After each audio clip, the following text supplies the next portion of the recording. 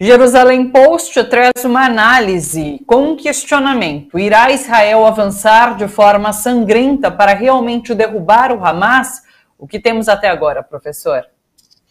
É, agora eu peguei também uma notícia de última hora, como essas matérias eu mando sempre no dia anterior, os tanques de Israel, porque vamos entender a faixa de Gaza. Tem uma parte norte que tem uma extensa área é, de terreno assim é, desmatado, onde os tanques já entraram. Então eles já estão em Gaza desde sexta-feira, já invadiram Gaza.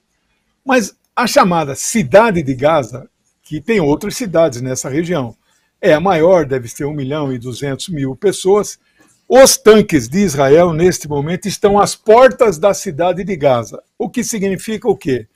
Que eles vão entrar, se entrarem, vão, um disparo de um tanque, ele desmonta um, um prédio de três, quatro andares, acaba com uma casa, mas vão começar também a chamada guerra urbana.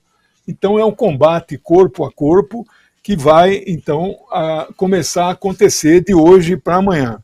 E aí a, a resposta à pergunta que o analista que fez a matéria, se Israel vai avançar de forma sangrenta, sim, vai continuar avançando. Ninguém, não há força no mundo hoje nenhuma capaz de deter o que Israel está fazendo. Agora, ruim para eles, ruim para os Estados Unidos, porque nós estamos ganhando a opinião pública mundial.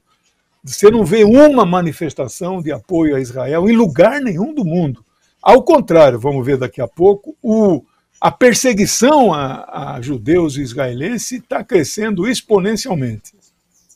Thank you.